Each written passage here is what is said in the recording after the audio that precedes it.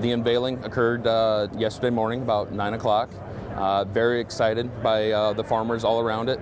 Uh, within two seconds of saying, enjoyed the show. I'm pretty sure uh, there was six people around every single row unit, and there were parts flying in the air with people trying to figure out how this machine works. Uh, reaction is, has been very, very positive. A lot of farmers excited about John Deere taking planting to the next step. So for the ExactEmerge row units, the row units are electrified. There's two motors. One motor drives the uh, drives the meter. The second motor drives the delivery system.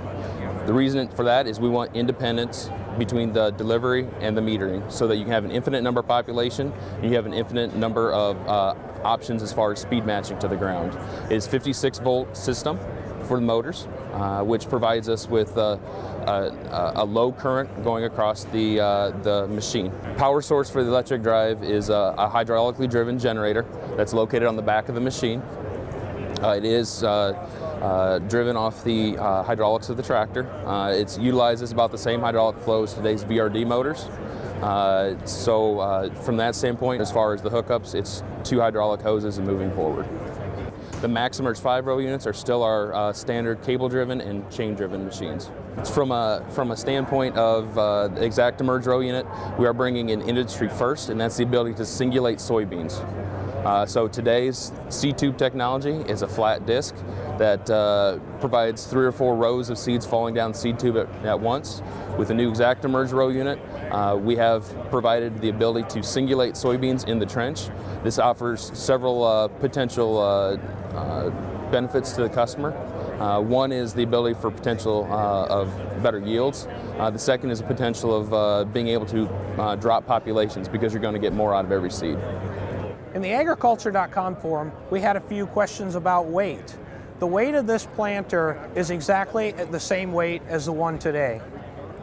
We've also had questions about the size and models. With ExactEmerge, it will be available as an option on our 1775 NT and our 1795.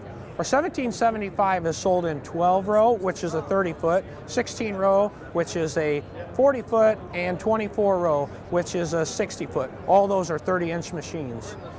For our 1795, we have a 23, 24 row 15 inch, which is a 30 foot machine. We have our 24 row 20 inch, which is a 40 foot machine. And we have our 31, 32 15 inch, which is a 40 foot machine planting windows seem to get tighter every year, uh, you know, whether it's weather conditions or time constraints, family, whatever, we seem to have to get over more acres uh, quicker. So speed is an issue. Uh, you know, the, generally the faster the better, but it's got to be done right uh, when to increase that speed. You can only plant once a year.